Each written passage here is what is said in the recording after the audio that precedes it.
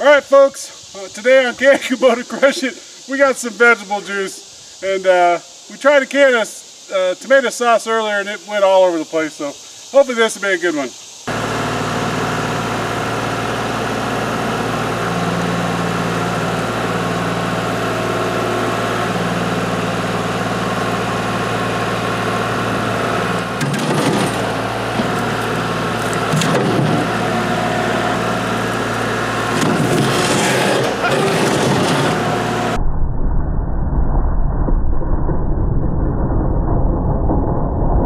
I think we got the camera.